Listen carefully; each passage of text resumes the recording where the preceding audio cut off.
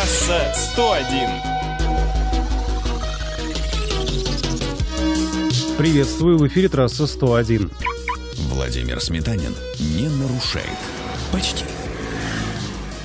Госдума приняла в окончательном чтении законопроект, запрещающий гражданам с неснятой или непогашенной судимостью работать водителями такси и автобусов. Норма начнет действовать с 1 марта 2023 года. В список проступков, повлекших судимость, входят причинение тяжкого вреда здоровью, похищение человека, разбой, грабеж и другие. Если водитель не предоставит справку об отсутствии судимости, трудовой договор с ним работодатель будет вынужден расторгнуть. Трасса 101. Петербургские депутаты предложили ужесточить ответственность за угон автомобиля. Они предлагают приравнять это деяние к краже, которая наказывается тюремным сроком до 10 лет. Пока же, говорят парламентарии, угонщиков часто привлекают по другой статье УК «Неправомерное завладение автомобилем или иным транспортным средством без цели хищения». Максимум по ней можно получить до 5 лет. Данный состав можно было бы упразднить, если угон и кражу сделать равнозначными. Добавлю, МВД сейчас фиксирует рост числа угонов легковых авто. В зоне максимального риска находятся модели массового сегмента. Трасса 101. На автовазе собрали первую упрощенную «Лада Гранта». Легковушка лишилась антиблокировочной системы тормозов и кнопки вызова экстренных служб «Эра ГЛОНАСС». Кроме того, в салоне появилось более дешевое рулевое колесо от «Лады Калина». Мотор остался прежним, 90-сильным, объемом 1,6. Однако какому экологическому классу он соответствует, пока не ясно. Возможно, и Евро-0. Уменьшится ли стоимость «Гранты» тоже неизвестно. Сейчас рекомендованный начальный ценник модели 728 тысяч рублей. Трасса 101.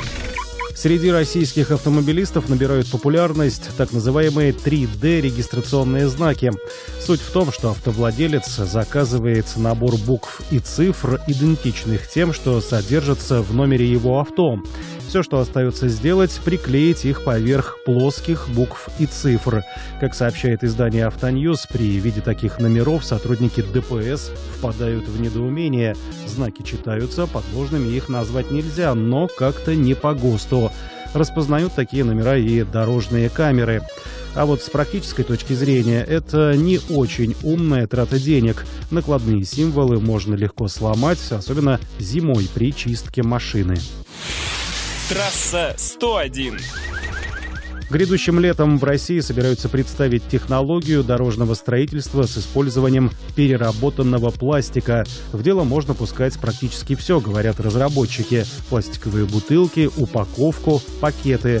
Главное хорошенько смешать их с битумом. Причем отходов в миксе может быть до 20%. В итоге якобы срок службы дорожного полотна можно увеличить практически в два раза. Трасса 101. И в завершении новость от нашего партнера. С 25 мая приобретать горючее на АЗС движение будет еще выгоднее. При покупке 20 и более литров АИ-92 и его оплате через систему быстрых платежей литр топлива обойдется в 45 рублей. Плюс с каждого литра на карту лояльности будет зачисляться по одному баллу. На этом все. Вопросы и комментарии оставляйте на сайте Эхо Кирова. Подписывайтесь на наш телеграм-канал «Трасса 101». До свидания. Трасса 101.